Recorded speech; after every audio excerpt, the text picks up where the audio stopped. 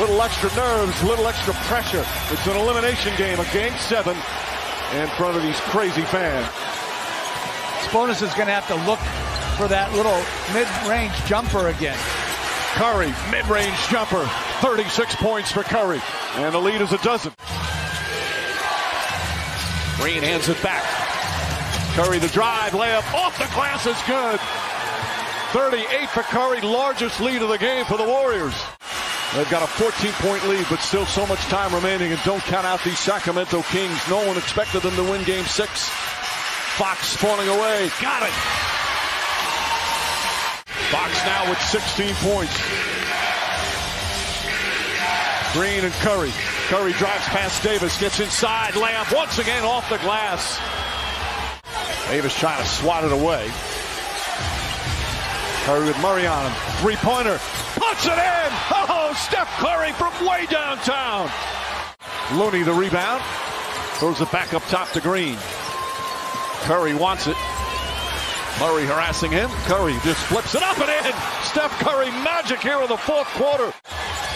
A 21 point lead. Curry pokes it away. On the road, game seven. Like, as Sabonis scores. 18 for 35. 6 of 16 from three. Gets it back. Curry, three pointer. Bang! Steph Curry. Gary Payton got healthy. Steph Curry got healthy. They felt they could still win a championship. Sabonis fakes, lays it up and in. Again, the double team. Thompson wide open for three. Looney again tips it up and in.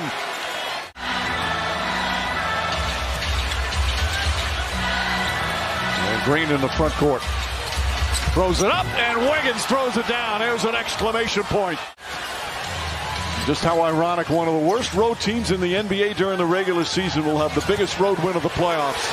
As Curry lays it up and in. They still play with the type of hunger we saw here in game seven. And let, let's not forget game five. Again, they were such a bad road team.